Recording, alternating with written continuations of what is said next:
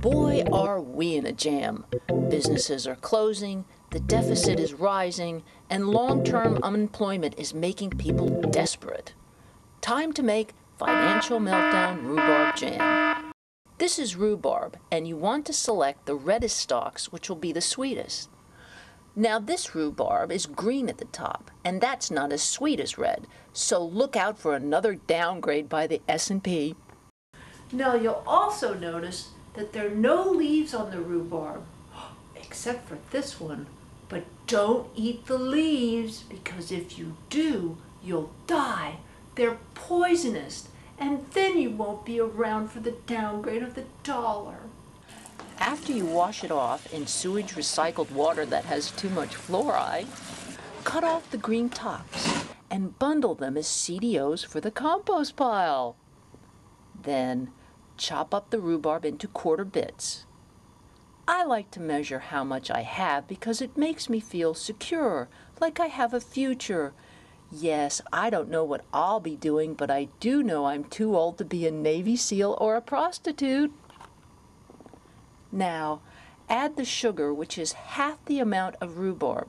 So say you had six cups rhubarb, then you'd add three cups sugar. Or you could add six cups sugar if you wanted to put someone in a diabetic coma. Then stir and put a lid on it and let it stand on the counter overnight. And the next day, if you don't feel like cooking, just throw it in the fridge. It looks like this afterwards, juicy. Stir it up a little, then put it in a big pot, bring to a boil, reduce the heat, chop up the big bits, and stir and stir and stir until it thickens.